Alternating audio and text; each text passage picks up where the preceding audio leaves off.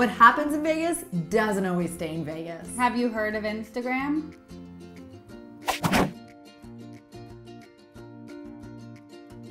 Welcome to Domestic Partners, where we talk food, drink, and all things domestic.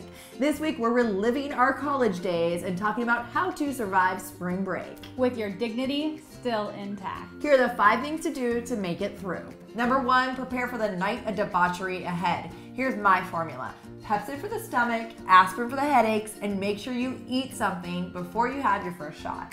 Okay, so I go about things a little bit differently. I like to have a meal before going out, a little something to snack on while you're drinking, and then when you get home, have another meal because you need something to soak up all that booze. So just never stop eating. No. Never. You'll look great in your bikini the next day. Number two, take a tip from me, and no matter how awesome that bead in someone's hair looks, feathers woven into your weave, or a tattoo, don't trust that street vendor. Those beads are not gonna look sexy sitting front and center in your English class during a polar vortex.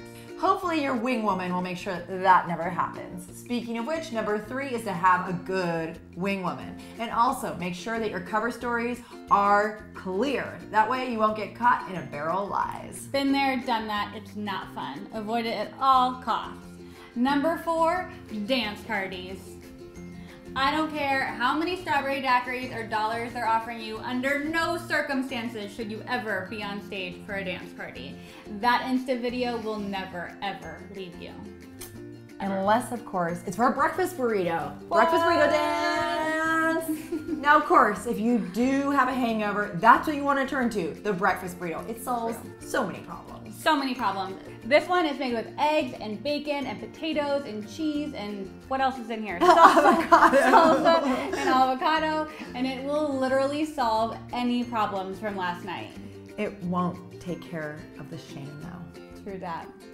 This week's food for thought is coming to you from our friends at the Jersey Shore. Ready? If you can't tone it, tan it!